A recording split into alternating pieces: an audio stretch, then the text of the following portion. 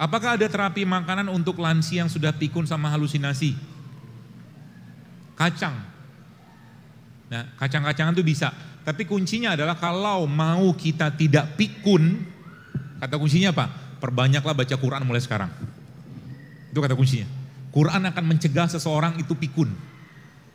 Biasakan baca Quran. Jadi mulai sekarang kalau saya sarankan sama sekali, kalau Anda sudah biasa baca Quran satu hari satu lembar, naikin dosisnya. Dua, dua lembar, tiga lembar, sampai sejus, dua jus gitu loh. Dinaikin terus. Dia akan jadi obat, dia akan jadi penyembuh, dia akan jadi berkah yang luar biasa. Tiba-tiba Anda pengen belajar tentang arsitek, Al-Quran ngajarin Anda nanti. Asal Anda dekat atau kita dekat sama Al-Quran. Anda pengen belajar ekonomi, tiba-tiba dengan kuasa Allah, Al-Quran mengajarkan kita tentang itu. Begitu hikmah Quran itu.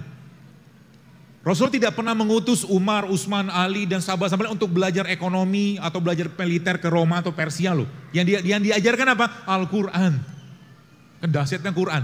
Sayangnya kita zaman sekarang tidak terlalu dekat sama Quran. Maka salah satu yang saya sarankan supaya kita lebih dekat dengan Quran, declare yourself, nyatakan diri Anda, ana sohibul Quran. Saya mau jadi sahabatnya Quran. Semua akan mati. Kita, saya, semua. Tapi Quran nanti akan nemani kita. Maka jadikan kita sebagai sahabat Quran. Sedih dikit baca Quran, bahagia sedikit baca Quran, dikit-dikit Quran, dikit-dikit Quran. Sehingga nanti apa? Handphone Anda mulai sekarang, saran saya nggak ada silang kecuali Quran sama kajian. Kalau mau pinter, mobil Anda misalkan masih ada CD-CD lagu, musik, segala macam, ganti sama kajian, bisa di-download sekarang semua kan. Saya alhamdulillah di mobil saya itu ada 600, ada 700 judul kajian, jadi nggak habis-habis ya. Siro tuh semua ada, perang Uhud, Badar, semua ada. Jadi sejam kalau saya macet, saya sudah dapat satu ilmu di sana. Begitu polanya. Anda yang biasa jogging, jangan lagi dengar musik, dengerin Quran waktu jogging. Gitu. Ya, ini kan dahsyat tuh. Tiba-tiba kok saya jadi pintar dan minta. Ketika kita baca Quran sama sekalian, minta sama Allah, ya Allah, dengan wasilah keberkahan Quran ini, uh, cerdaskan diriku. Bisa minta kayak begitu.